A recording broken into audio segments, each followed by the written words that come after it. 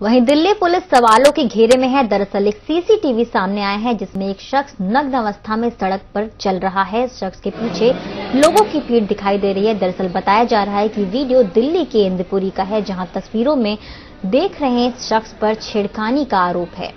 Police पर आरोप है कि पुलिस ने शख्स को सड़क पर नंगा घुमाया। हालाँकि वीडियो सामने आने के बाद पुलिस की तरफ़ से कोई बयान सामने नहीं आया है। आप देख सकते हैं सामने वीडियो। एक शख्स नग्न अवस्था में सड़क पर घूम रहा है। उसे पुलिस लेके जा रही है।